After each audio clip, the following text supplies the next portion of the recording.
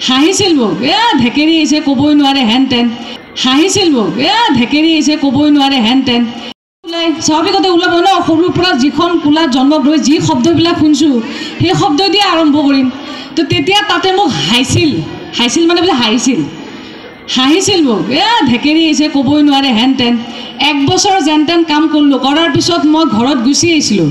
আহি পেলাই মাক কৈছোঁ বোলে মা মই নৰোঁ আৰু ভাষাটো সলনি কৰিব পৰা নাই আৰু তাতেতো লিখিত লাগে পাৰা নাই। তেতিয়াও সেই একেটাই মায়ে মোক তেতিয়া কৈছিল যে বোলে কি এনেকুৱা কি বস্তুনো আছে যিটো নেকি অসম্ভৱ?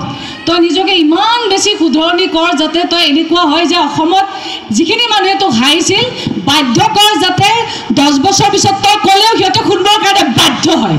আৰু সেই প্ৰেৰণাত সেই আত্মবিশ্বাসত মই তাতে গৈ নিজকে শুধৰাই শুধৰাই মই তেতিয়া ভাবি লৈছোঁ এই বাইহাটা পাৰ হ'লোঁ মানে মই বাপেকে উজনীয়া খবৰ। মানে ইমান নিজকে চেঞ্জ কৰিলোঁ। গতিকে মা এগৰাকীৰ কিমান সাহস থাকে প্ৰত্যেকগৰাকীৰে ক্ষেত্ৰত। সেইটো প্ৰথমতে উপলব্ধি কৰিব লাগিব আৰু বৰ্তমান সময়ত আমাৰ যিমান কেইগৰাকী ইয়াতে মাতৃ আছে বা ছোৱালী আছে কালি পৰহি কাৰোবাৰ বোৱাৰী হ'ব মাতৃগৰাকীৰ সেই আত্মবিশ্বাস থকাটো আটাইতকৈ ডাঙৰ কথা। গতিকে সেইটো এটা কথা। দ্বিতীয়তে জীৱন জীৱনটো আমি প্ৰত্যেকেই লাভ কৰিছোঁ বহুতে খাই বহি শুই সমালোচনা অমুকত খৰচ কৰে। নিজে কিমান অৱদান আগবঢ়াইছোঁ সেইটো বহুত কম বিশ্লেষণ কৰে। গতিকে আজি তেখেতৰ জীৱনটো তেখেতৰ কৰ্ম জীৱনীৰে সাৰ্থক কৰিছে।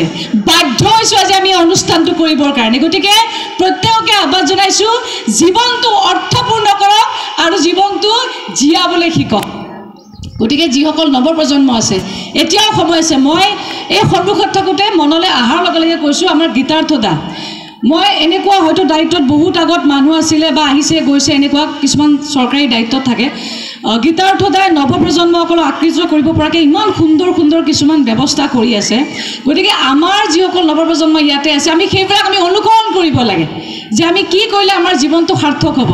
আৰু ভগৱানে এনেকুৱা নহয় যে কাকো একো দিয়া নাই সকলোকে নিজৰ নিজৰ প্ৰতিভা দিছে সেইখিনি আমি বিকাশ কৰাটো আমাৰ কথা। গতিকে সেইখিনি আমি উপলব্ধি কৰিব লাগিব। গতিকে এইখিনি হৈছে আপোনাৰ দুই নম্বৰ হাঁহিছিল মোক এ ঢেকেৰি আহিছে ক'বই নোৱাৰে হেন তেন। হাঁহিছিল মোক এ ঢেকেৰি আহিছে ক'বই নোৱাৰে হেন তেন। ওলাই স্বাভাৱিকতে ওলাব ন? সৰুৰ পৰা যিখন কোলাত জন্ম লৈ যি শব্দবিলাক শুনিছোঁ সেই শব্দ দিয়ে আৰম্ভ কৰিম। তো তেতিয়া তাতে মোক হাঁহিছিল। হাঁহিছিল মানে বোলে হাঁহিছিল। হাঁহিছিল মোক এ ঢেকেৰি আহিছে ক'বই নোৱাৰে হেন তেন। এক বছৰ যেন তেন কাম কৰিলোঁ। কৰাৰ পিছত মই ঘৰত গুচি আহিছিলোঁ। আহি পেলাই মাক কৈছোঁ বোলে মা মই নৰোঁ আৰু। ভাষাটো সলনি কৰিব পৰা নাই আৰু তাতেতো লিখিত লাগে পাৰা নাই।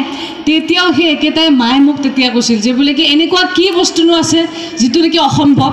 তই নিজকে ইমান বেছি শুধৰণি কৰ যাতে তই এনেকুৱা হয় যে অসমত যিখিনি মানুহে তোক হাঁহিছিল বাধ্য কৰ যাতে দহ বছৰ পিছত তই ক'লেও সিহঁতে শুনিবৰ কাৰণে বাধ্য হয়।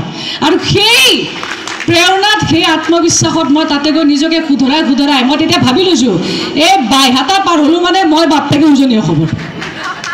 মানে ইমান নিজকে চেঞ্জ কৰিলোঁ। গতিকে মা এগৰাকীৰ কিমান সাহস থাকে প্ৰত্যেকগৰাকীৰে ক্ষেত্ৰত। সেইটো প্ৰথমতে উপলব্ধি কৰিব লাগিব। আৰু বৰ্তমান সময়ত আমাৰ যিমান কেইগৰাকী ইয়াতে মাতৃ আছে বা ছোৱালী আছে কালি পৰহি কাৰোবাৰ বোৱাৰী হ'ব মাতৃগৰাকীৰ সেই আত্মবিশ্বাস থকাটো আটাইতকৈ ডাঙৰ কথা। গতিকে সেইটো এটা কথা। দ্বিতীয়তে জীৱন।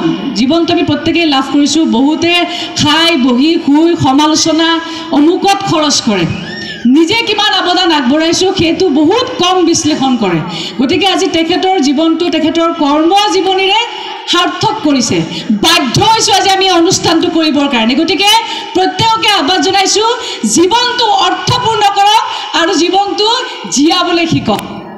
গতিকে যিসকল নৱপ্ৰজন্ম আছে এতিয়াও সময় আছে। মই এই সন্মুখত থাকোঁতে মনলৈ অহাৰ লগে লগে কৈছোঁ আমাৰ গীতাৰ্থ দা মই এনেকুৱা হয়তো দায়িত্বত বহুত আগত মানুহ আছিলে বা আহিছে গৈছে এনেকুৱা কিছুমান চৰকাৰী দায়িত্বত থাকে।